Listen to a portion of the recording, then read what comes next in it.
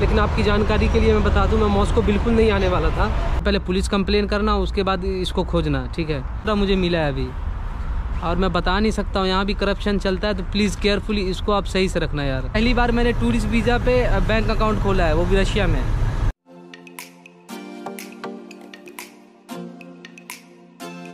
मैं हूँ ट्रैवलिंग हिंदी और स्वागत करता हूँ आपका मेरे इस यूट्यूब चैनल में।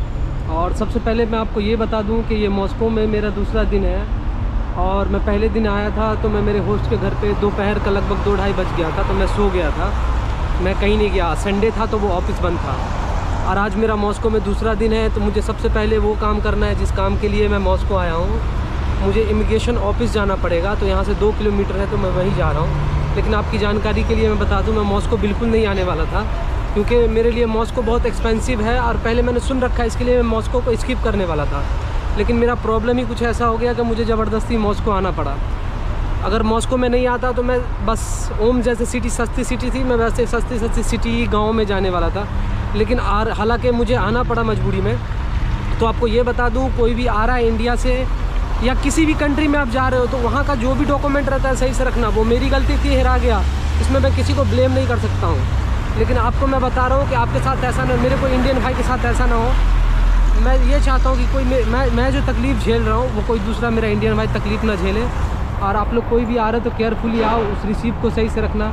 अभी पता नहीं आगे क्या होगा, नहीं होगा, पता नहीं मुझे अगर मिल जाए, हो, आप लोग भी दुआ करो कि मुझे मिल जाए, बहुत टेंशन में हूँ। कहीं हॉस्टल में भी जगह नहीं मिल रही है। तो मैंने वीडियो वगैरह कुछ भी नहीं बनाया क्योंकि मेरा मेन कार्ड जो है, वो बहुत इंपॉर्टेंट है। मुझे खुद भी नहीं पता था कि इतना इम्पोर्टेंट होगा। मैं दिखा देता हूँ। यहाँ मैं एक घंटा लगभग गुजारा, इन्होंने इधर बात किया, उधर बात किया, बोला हम नहीं कर सकते हैं। एक घंटा बैठा, फिर उन्होंने दूसरा एड्रेस दिया, वहाँ जा रहा हूँ, देखता हूँ क्या होता है, पता नहीं अभी। इतनी परेशानी चल रही है यार, सिर्फ़ वो स्लिप की वजह से इतना परेशानी है। ये था बाकी ऑफ़िस, जो कि मॉस्को में है। और इन्होंने अभी एड्रेस दिया है, मैप में डाल के, बोला तीन किलोमीटर है तो जा रहा हूँ, देखता हूँ क्या होगा। बहुत परेशानी चल रहा है यार, एक कार्ड की वजह से इतना प्रॉब्लम है कि पूछो मत। ओम्स छोड़ के आना पड़ा, फिर मॉस्को में हूँ। तो अभी कहीं जा नहीं रहा हूँ, बस ये क्लियर करूँ, उसके बाद कहीं जा सकता हूँ। बहुत प्रॉब्लम है।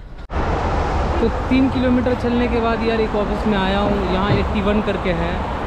और ये अभी यहाँ आया हूँ तो ये लोग बोले, लंच है, आप आधे घंटे वेट करो, उसके बाद टोकन देंगे, फिर लाइन लगेगा। मुझे पता नहीं एग्जैक्टली मिलेगा या नहीं मिलेगा, यार बहुत टेंशन लग रहा है, क्योंकि वो कार्ड एग्ज़िट में काम आएगा और प्लस यहाँ जो है ना हॉस्टल में कोई एंट्री नहीं दे रहा, वो कार्ड मांग रहा है। तो मैं वो कार्ड कहाँ से लाऊँ? फ़ोटो में है मेरे पास, वो मैंने ब्लॉग किया था, आपको दिखाया था। तो वो बोल रहे कि इसमें समझ में नहीं आ रहा होटल वाला। फिर मैं यहाँ आया हूँ एग्जैक्टली तीन चार ऑफ़िस घूमने के बाद। तो ये बोला लंच के बाद देखता हूँ क्या होता है। यार क्लियर हो जाए तो थोड़ा मैं भी थोड़ा फ्री हो जाऊँ। ये है लोकेशन किसी को अभी कोई प्रॉब्लम हो तो स्क्रीन करके अपना देख लेना। और जो एरिया में आप रहते हो तो अलग अलग रहता है, ठीक है? जिस एरिया में आप रहते हो। सबसे पहले पुलिस कंप्लेन करना, उसके बाद इसको खोजना, ठीक है? और रियली बता रहा हूँ, मैं बता नहीं सकता हूँ, कितना मैंने तकलीफ़ झेला, आपको नहीं बता सकता हूँ मैं। दो दिन में पैदल चला हूँ, किसी को पता नहीं रहता ये चीज़ हकीकत में दिल से बता रहा हूँ, देख लो, ये ये दूसरा मुझे मिला है अभी। और मैं बता नहीं सकता हूँ, यहाँ भी करप्शन चलता है तो प्लीज़ केयरफुली इसको आप सही से रखना यार। आप सबसे मेरी विनती है, अगर कोई वीडियो को देख रहा है तो एक बार नहीं, दस बार देखो, रशिया आने से पहले इसको सही से रखना प्लीज़ तो ये रिक्वेस्ट है, मैं जो झेला हूँ मैं नहीं चाहता हूँ कि मेरा भाई लोग कोई भी झेले। होस्ट से मैंने बात की, मुझे बैंक अकाउंट खोलना है तो उन्होंने बताया, ठीक है, हो जाएगा।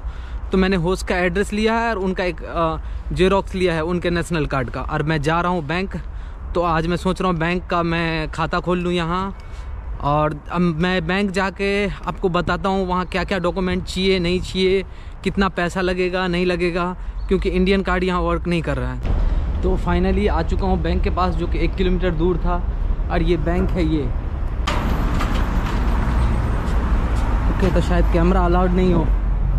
तो मैं कैमरा रख देता हूँ और जाता हूँ बैंक में अकाउंट खोलने।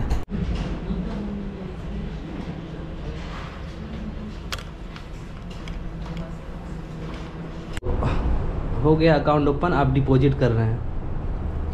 Yes yes yes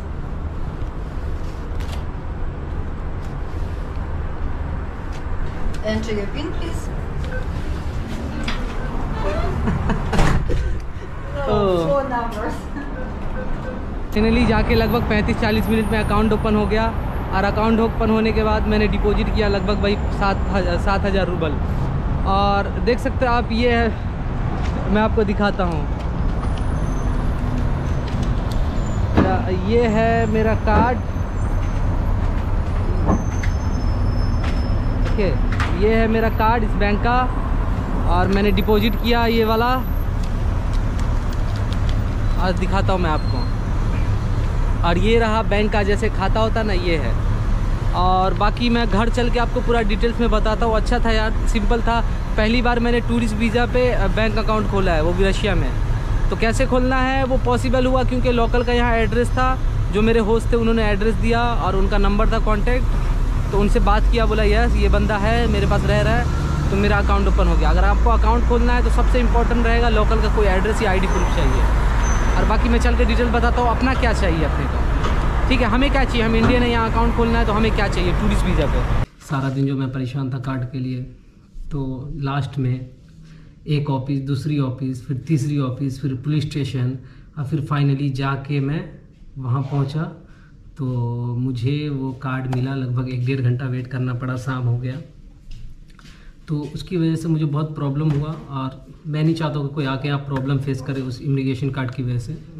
तो आप लोग से यही कहना है कि जो भी आ रहा है, कहीं से भी आ रहा है, किसी भी बॉर्डर से आ रहा है या बाई एयर आ रहा है तो उसको संभाल के रखना, वो बहुत काम की चीज़ है। और दूसरी बात, मैंने बैंक अकाउंट ओपन किया है तो मैंने आपको बताया क्या क्या डॉक्यूमेंट चाहिए तो पहले मैं दिखा देता हूँ। ऐसा कार्ड रहेगा, वो संग संग ये कार्ड आपको मिल जाएगा। लगभग 40 से 45 मिनट लगा अकाउंट खुल गया और हाँ अब डॉक्यूमेंट पे आते हैं। तो डॉक्यूमेंट उसके लिए आपको चाहिए आपका वीज़ा ठीक है, आपका वीज़ा आपका पासपोर्ट यहाँ का लोकल नंबर और यहाँ का किसी का लोकल का एड्रेस चाहिए। तो इजी हो जाता है खुलने में। बाकी पता नहीं मुझे विदाउट लोकल का एड्रेस बिना लोकल एड्रेस प्रूफ के भी खुलता होगा, लेकिन ये मेरा इजी हो गया। गया मैं, कुछ नहीं पूछा मेरे से। मेरा पासपोर्ट वीज़ा देखा। और मेरा मोबाइल नंबर लोकल मांगा और बोला, दिखाया एड्रेस प्रूफ का वो, अपने, मैंने, अपने इसका दिखा दिया होस्ट का। बस 40 मिनट में अकाउंट खुल गया। भूल गया कि मेरे होस्ट जैसे ही आएँगे तो मैं आपको होस्ट से मिलाऊँगा। एक्चुअली वो मॉडल है एक्टर है तो उसके पास टाइम रहता नहीं है। तो वो आएँगे तो मैं उससे इंट्रोड्यूस कराऊँगा। फिर जाके इस ब्लॉग का एंड होगा, उनसे मिलाने के बाद। चलो। मेरे होस्ट आ चुके हैं, वो बहुत बिज़ी रहते हैं एक्चुअली वो कास्टिंग वास्टिंग एक्टिंग वगैरह करते हैं रशिया में। तो वो उनमें बिज़ी रहते हैं। और ये है इगोर भाई। Thank you so much hi guys. Oh, you're welcome. और ये बहुत अच्छे हैं। मतलब होस्ट हो तो इनके जैसा। थैंक यू सो मच बहुत लवली पर्सन है। ये हर चीज़ में मेरी हेल्प किए हैं। मुझे बैंक का कुछ ये हर चीज़ में जैसे मेरा वो कार्ड कहाँ अटक गया तो इन्होंने कॉल करके बात किया था। Thank you so much your brother thank you Thank you. हाँ। बाकी टाइम नहीं रहता इनके पास। ये इधर उधर शेड्यूलिंग वगैरह, फिर एक्टिंग फिर आओ, नहाओ, खाओ, बेचारा बहुत परेशान रहता है।